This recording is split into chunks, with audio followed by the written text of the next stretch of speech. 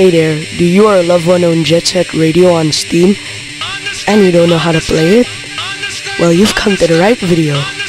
Let's smash! Uh, so to move your character on, you just gotta click WASD.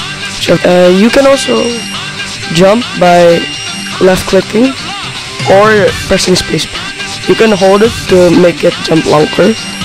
And if you want to go faster, uh, while skating, you can hold right click.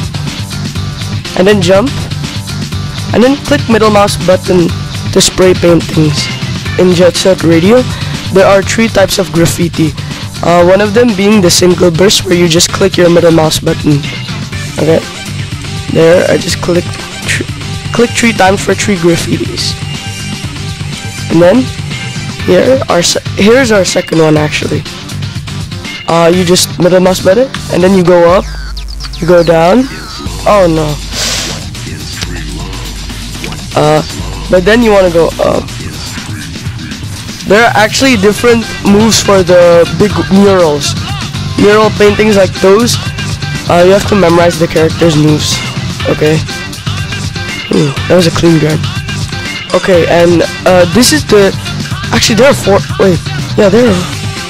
Okay, the point is, this is the third one. Like that. Just look at my keyboard. I can't really explain this. Wait, this, this, this, this, this. And just look at it. This, this, this, this. There we go. Okay, yeah, th there's only three. Wanna graffiti that? Oh man, I messed that up. Can't believe. I failed myself.